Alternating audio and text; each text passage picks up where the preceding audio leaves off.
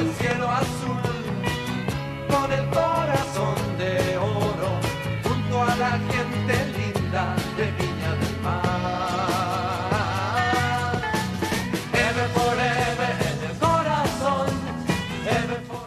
Hola, ¿cómo están amigos? Sean todos bienvenidos a una nueva edición de Quinta Visión Deportes. Hablemos de Everton. Hoy miércoles, como es habitual, continuamos con nuestro programa acompañando a toda la familia evertoniana, eh, más aún en este término de año que para los evertonianos tiene una- un cariz muy especial, estando en instancias eh, muy importantes que definen el futuro de la institución Oro y Cielo en Viña del Mar.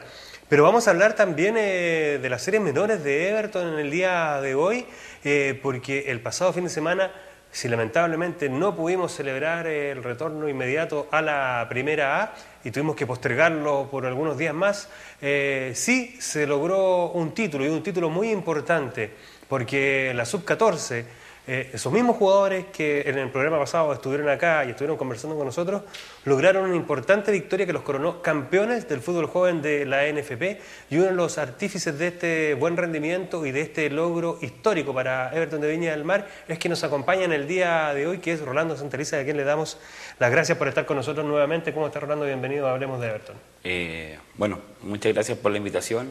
Eh, feliz, feliz, feliz por el resultado, feliz por lo que se consiguió. Eh, un resultado muy difícil de, de hacer en lo que es fútbol joven. Everton muy pocas veces lo había conseguido, así que muy contento. Sí, oye, nosotros tuvimos justo el programa anterior con eh, dos integrantes de, de tu categoría. Oye, ¿cómo se maneja? eh? Es increíble. Oye, le mandamos un saludo a ellos porque ellos fueron eh, parte de este, son parte de este plantel que logró ese importante triunfo. Pero, ¿sabes qué? La forma de ellos de desenvolverse habla del trabajo integral que desarrollan ustedes, que es muy importante, porque más allá de lo buenos que son para el fútbol y de la proyección que tienen el fútbol, también son eh, chicos con una dinámica y una, y una forma de pensar muy especial y se desenvuelven muy bien y además son muy sencillos y muy centrados, y eso es muy importante y habla del trabajo que ustedes hacen también. Eh, sí, eh, eh, la, la idea es, como se llama, formar eh, grandes jugadores y, grandes personas también, que estén preparados para enfrentar lo que viene en la vida, porque no todos van a ser jugadores profesionales. Eso es, es el ideal que tenemos nosotros. El ideal es que ojalá todos lleguen a un primer equipo, pero eso es muy difícil. Llegarán 3, 4, 5, porque hay jugadores con muchísima proyección. Yo creo que hay jugadores con proyección de selección nacional acá que lamentablemente por el año que están eh, han estado un poquito postergados. Está una sub 13 en este momento y una sub 15 y estar ahí en el medio es difícil. Me tocó a mí en alguna oportunidad y, y es complicado porque o, o- eres muy grande o eres muy chico. Entonces tienen que esperar su, su oportunidad y, y ya les va a llegar porque se lo están ganando.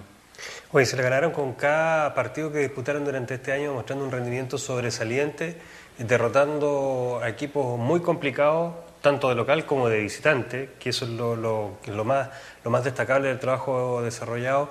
Eh, ¿Qué es lo que más destacas tú de este equipo, Rolando, de todo el trabajo que desarrollaron este año? Bueno, yo creo que mi parte es la parte técnica, pero, pero creo que el, equipo en sí eh, creyó en nosotros, en mí y Felipe Eldrek, que es preparador físico, que dicho por, el mismo jefe técnico de Everton, es en este momento uno de los mejores de Everton, eh, sin desmerecer a los demás, pero el trabajo de él ha sido fundamental en, en lo que yo quería del equipo, en, en el trabajo de pressing que nosotros realizábamos constantemente en los partidos, en, en siempre atacar, en tener el resto físico para poder soportar los 80 minutos que dura un partido de, de sub-14 y, y lo demostramos en la cancha, que teníamos una actitud distinta a los demás equipos. Nosotros siempre queríamos ganar, siempre queríamos ir adelante eh, y, y mostramos una madurez como equipo de lo que era el año pasado, que esta serie fue décima. Eh, logramos una gran mejoría en el primer torneo siendo cuarto y ahí nos picó el bichito de ir por más. Y trabajamos en base a lo que teníamos, en mejorar nuestras falencias y, y aumentar nuestras virtudes y gracias a Dios se nos dio.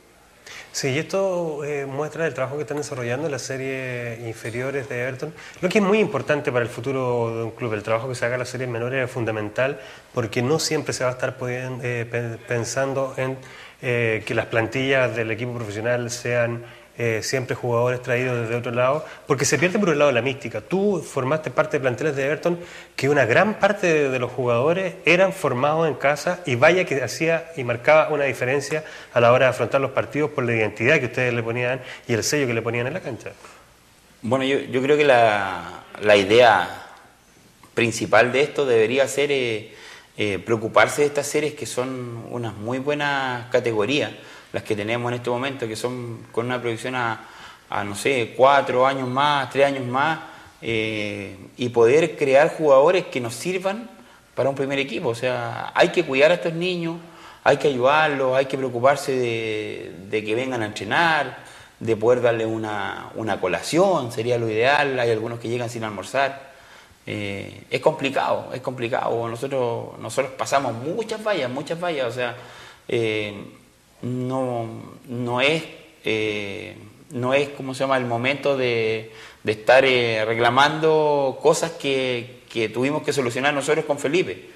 Eh, pero, pero sí, hubieron muchas fallas que tuvimos que pasar y eso, ¿cómo se llama?, son cosas a mejorar para el próximo año que le competen a Everton, que va a tener que solucionarlas porque este equipo, como digo, es un equipo que hay que cuidarlo mucho porque yo creo que nos van a dar muchas satisfacciones más adelante.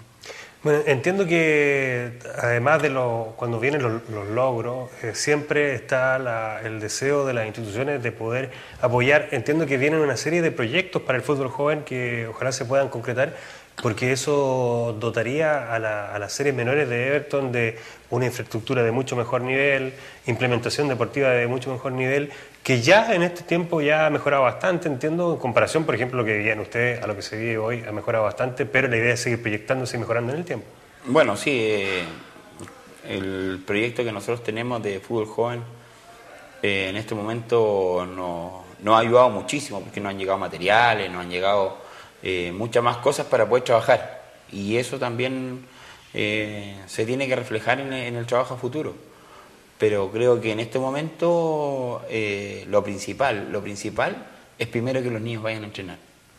Y para eso vamos a tener que organizar un plan, que Cristian está a cargo de eso, Cristian Ochoa, que es el jefe técnico, y, yo creo que lo tiene muy en cuenta, de, poder tratar de ayudar a los niños y que, y que podamos tenerlos ahí eh, la única manera que el niño mejore es que vaya a entrenar y que nosotros podamos entregarle lo que él necesita para poder ser el día de mañana un, un mejor jugador y, que no, y que nos aporte al club.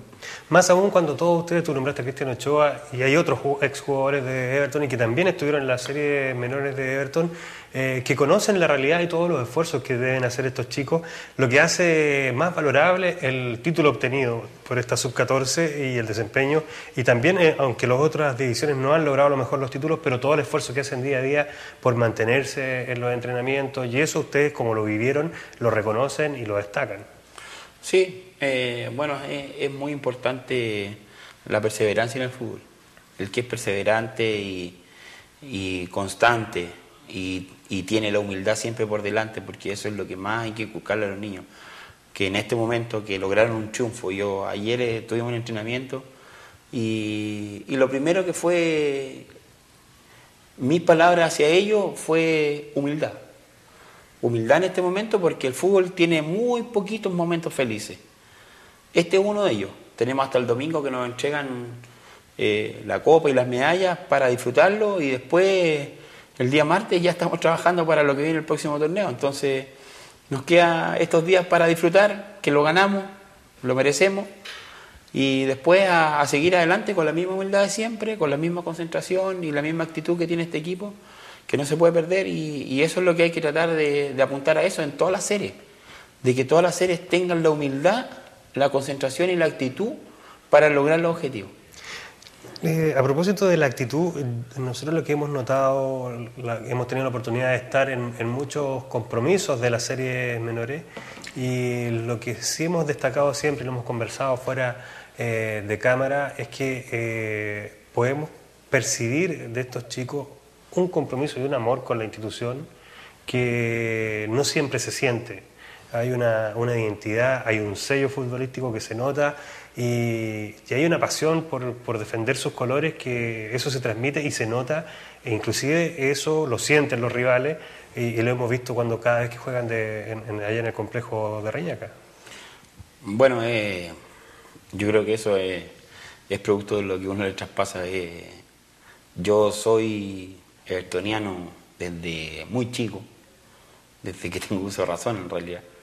Y, yo quiero mucho esta institución, entonces eh, trato de entregar todo. A lo mejor uno de repente más por vocación que por beneficio económico, pero, pero esto es así, pues el fútbol cuando uno empieza tiene que, que pasar eh, por todas las etapas y creo que lo importante ahora es, es tratar de, de, traspasarle todo eso a los niños, que los niños sientan la pasión por el fútbol, independiente de que sean de Everton en este momento o no.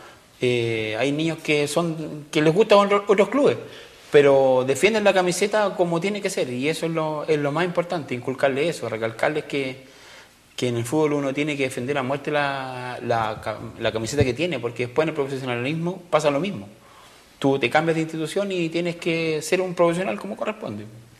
Y eso se nota en estos chicos, por lo menos los que tuvimos la oportunidad de conversar eh, el otro día en el programa acá, Hablemos de Everton, en donde ellos nos demostraban su pasión y su compromiso con este proyecto y con los colores eh, oro y cielo.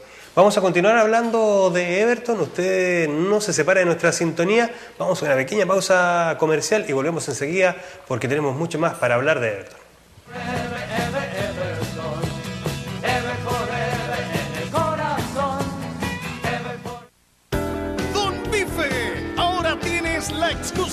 Para todos los días disfrutar de la mejor parrillada. Don Bife, la carne más blanda, rica y jugosa a las brasas. Visítanos en Alto Las Condes, Parque Arauco y Boulevard Marina Arauco Piña del Mar. Don Bife, locos por la parrilla.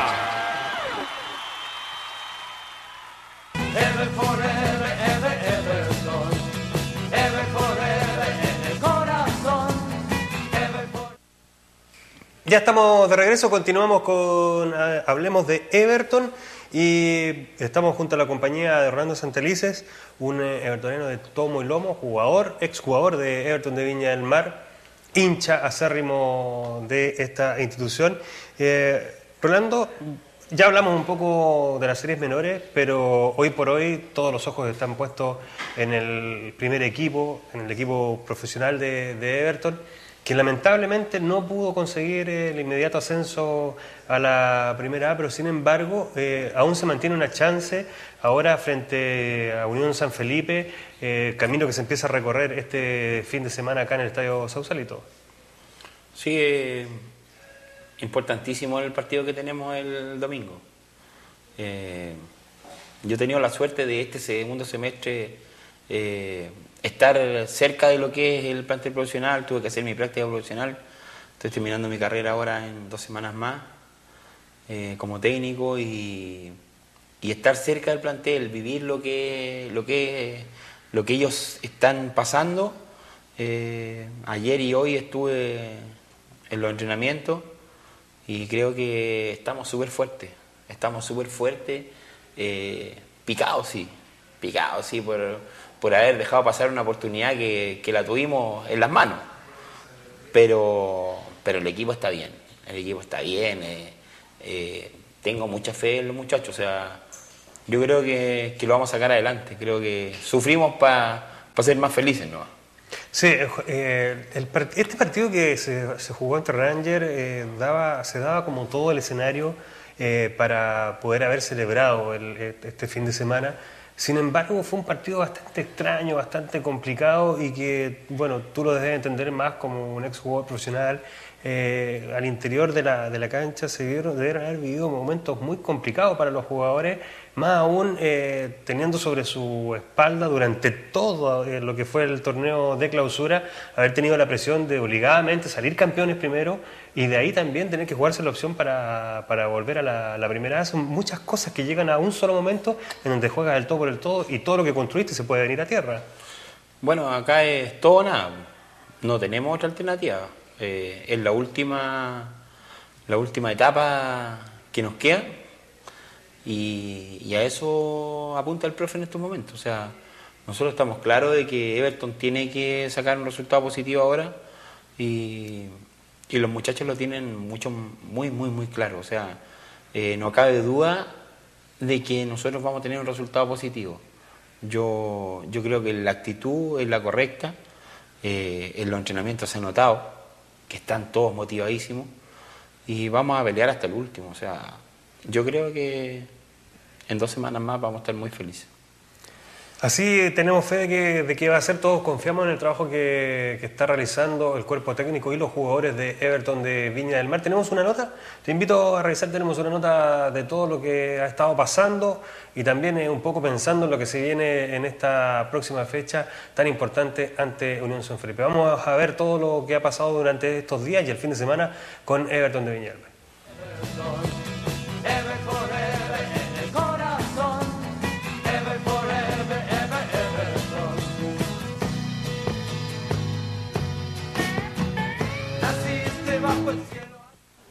Hoy día jugué con jugadores infiltrados, no tenía más. Lo que hubo en la cancha es lo mejor que tenía Everton en este momento para este partido. Creo que el partido en sí, no, a lo mejor en la justicia en el, en el existe, pero los muchachos dieron todo por, por darle la alegría a la gente. Hoy no pudimos, mañana quién sabe. Pero el destino es así, solo Dios sabe por qué nos tenía preparado esto. Así que ahora hay que tener fe y, y preparar dos partidos que la verdad no estaba dentro de nuestros planes. Así que ahora hay que volver a entrenar con un desazón total, con, una, con una, un estado de ánimo muy abajo de todos los muchachos.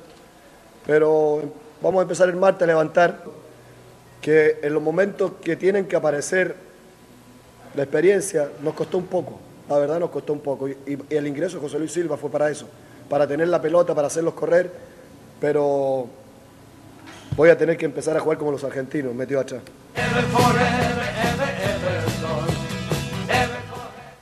Ahí estamos viendo las declaraciones del técnico de Everton, Marco Antonio Figueroa.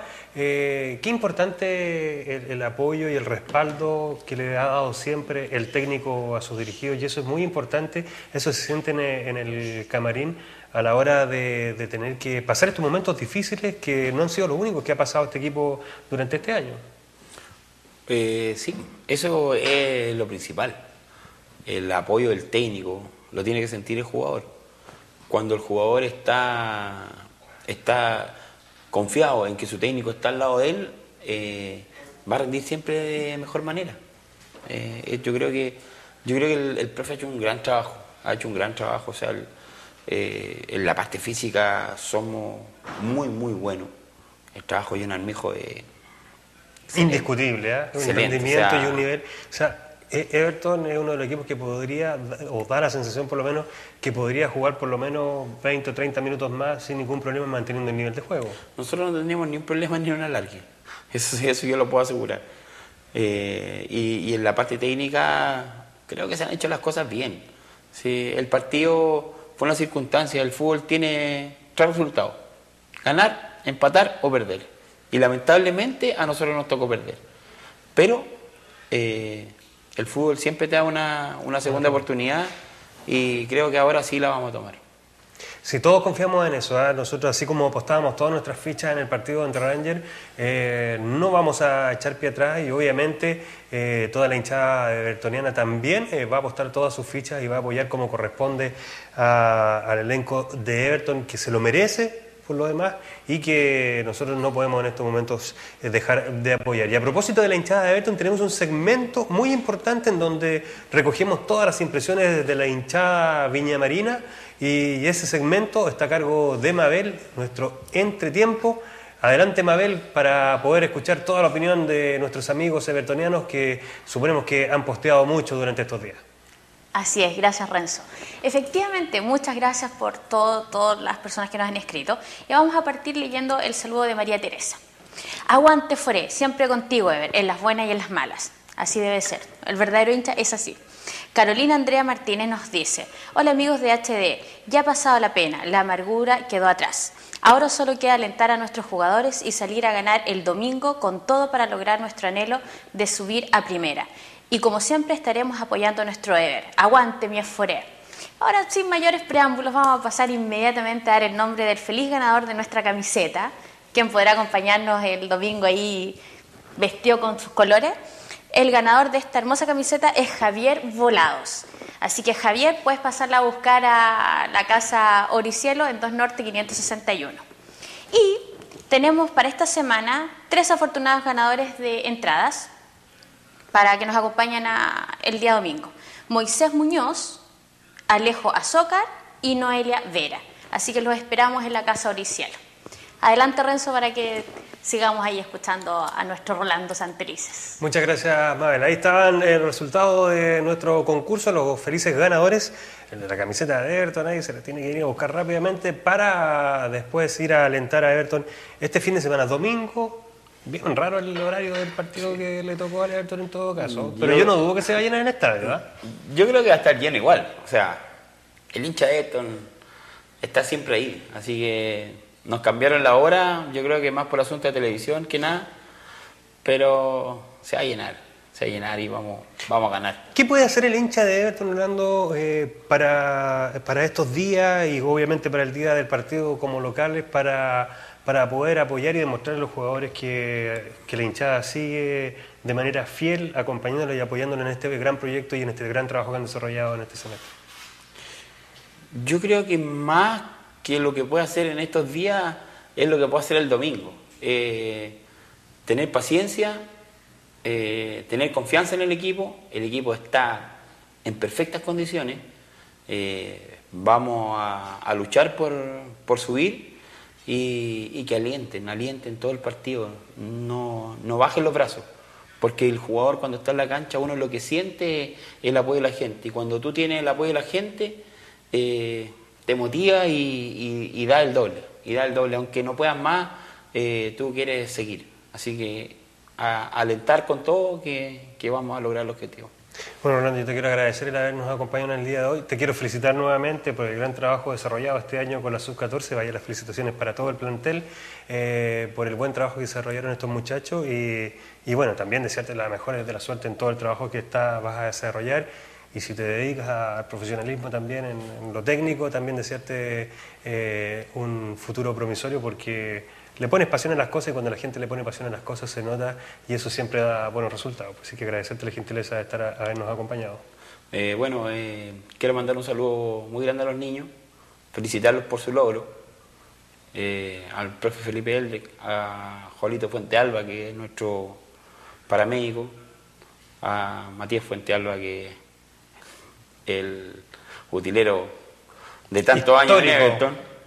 Y, un saludo muy especial a, a mi señora Claudia, a mi hijo Ignacio y Nicole, que van a estar viendo este programa y nos están sintonizando, así que un beso grande para ellos. Bueno, agradecemos también nosotros eh, la gentileza de Rolando de habernos acompañado en el día de hoy. Y usted ya lo sabe, el domingo a repletar nuevamente el Sausalito y, y también acompañar eh, en gran masa al último partido, que entendemos que se va a jugar en Quillota ante Unión San Felipe, que así que también podemos hacer eh, de local en ese reducto. La invitación es para que usted apoye a los jugadores y como bien lo decía Rolando, hasta el último minuto hay que estar alentando los jugadores porque por un lado se lo merecen por el gran esfuerzo que han hecho y el gran trabajo que han hecho junto a su cuerpo técnico durante este año y ustedes son el jugador número 12. Así lo han dicho los jugadores en más de alguna oportunidad, así lo ha requerido el cuerpo técnico y hoy no nos podemos restar en esta misión que es volver a la primera.